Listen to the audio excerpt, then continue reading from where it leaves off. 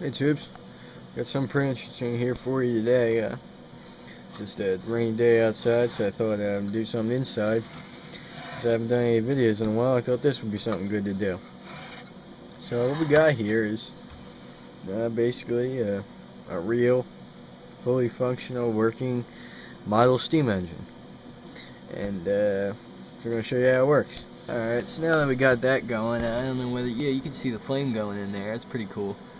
Uh, but either way, I'll show you, I got a couple uh, attachments for it. You got like a grinder here, grinding wheel, and a uh, buffer, and a little table saw here. And the table saw, if you, it'll even cut toothpicks. It isn't real impressive, but still cool. So either way, like, know, like I said, it's it's fully functional. It works just like a steam engine. It's heating up right now.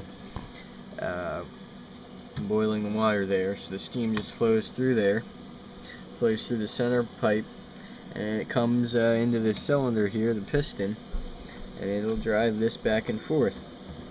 Uh, this right here changes the angle, which changes how much steam it, re it receives, and that changes the speed.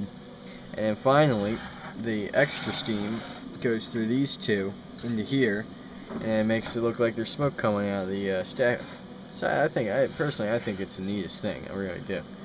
But uh, I don't use it that much, so I figured today'd be a good day to use it and show you guys. So you see, it's still heating up, but we'll be back when it gets hot. All right, so I can hear it starting to boil, and I don't know. You can see in the window, it's jumping around a little bit.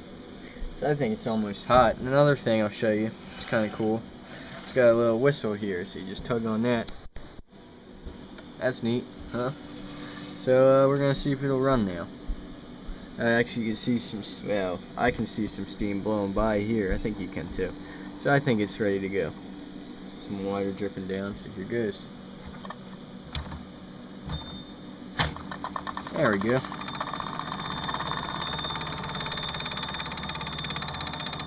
How about that? Oh, too slow. A real working steam engine, right on my desk. And you see now, uh, let me change the angle where you can kind of see. There's steam coming out there. I think that's like a real cool feature. You can't really see it though. But, uh, there you have it. And then I've got some uh, belts. I can hook one of these attachments up. I think that's going to be next. But you can see how these things burn. They burn pretty good, and I think it's almost time to put another one on. But you can see, as soon as I took that out, it started to slow down again. It's like if I blow the horn, it'll slow down. Alright, so we got the belt hooked up here now, and uh, I just put another, uh, what do you call it? Uh, another another tablet in there, so it's burning pretty good. So I want to get it going before it blows up here. But I just wanted to show you, I think another reason for having the, uh, the spring belts is so you can keep tension on it. But luckily they don't need a whole lot of tension. I should do is bolt it down to something, a board or whatnot, but it does alright as it is. So we're going to get this started now. So yeah, there's a lot of pressure behind this. It takes some to turn it. Now it doesn't even want to, there we go. That's going the wrong way. You see now, now uh, it has more steam, it takes less uh, less steam to get it going because there's more pressure. But you can see the steam, pretty much everywhere. Uh, it's tough to see with the camera though. It's coming out of the chimney there. We got the uh, got the grinder running good. There we go. See, I mean, it runs real smooth, and obviously, uh, there, there's a fair amount of torque, respectively, coming out of there, so it doesn't even notice. Right now, I'm probably just slipping the belt, though. Yeah, that's exactly what I'm doing. If I had more tension on it, though, it might something might happen. If I pull this tighter, and then put my finger on it.